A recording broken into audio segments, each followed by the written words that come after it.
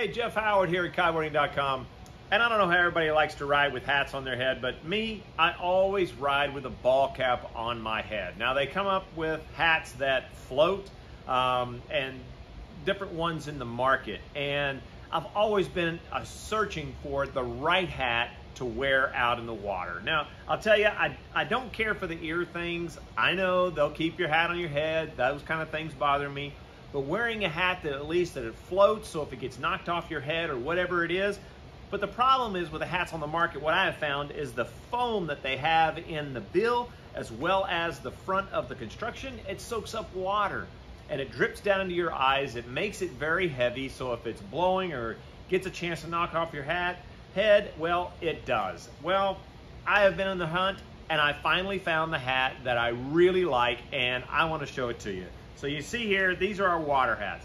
This is how small this goes down to. This is about 1.6 ounces. The cool part is it's a non-structured hat. So it has a ripstop nylon in the front here. It's got net mesh in the back. It's got a flotating, this is a sealed, uh, the foam, sealed out foam bill. And it can be rolled, tucked, whatever. You can pull it, put it in your pocket, whatever you want to do to it. Super lightweight and doesn't absorb water. Usually a lot of the hats, the band on the inside here is so thick that it absorbs water. So it just gets heavier and heavier. With the sealed foam, the hat wants to float just like this. It's very simple, super lightweight.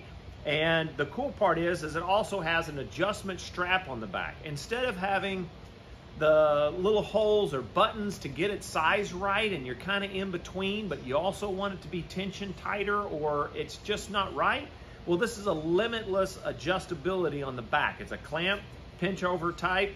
So once you put it on and you cinch the strap over and get it clamped down, once it's on your head, it's a solid. The cool thing about this hat is something you want to try it out. It feels like it's like nothing on your head, but yet you got it clamped on there enough so if you're riding, you're winging, you're kiting, whatever it is, sailing, um, you're in the water type sports, I love it because once I hit the water, usually with a hard bill like this, as soon as that water hits that bill, it kicks the hat off of your head or it pulls up on you. This one, it simply just knocks it up. So if I'm winging or doing whatever, it's just turned out a great little hat. You can see how it fits on here. It's real clean, it's real simple, it's real light and works perfect in the water. I'm telling you, it's taken me a lot of time to find these hats, to find the right one.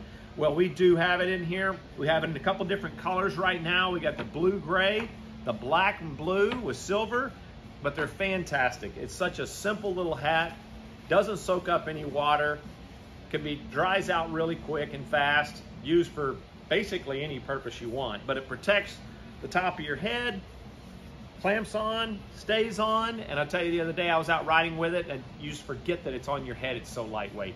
Anyway, that's Jeff Howard here at kiteboarding.com to try to find products that work for you on the water.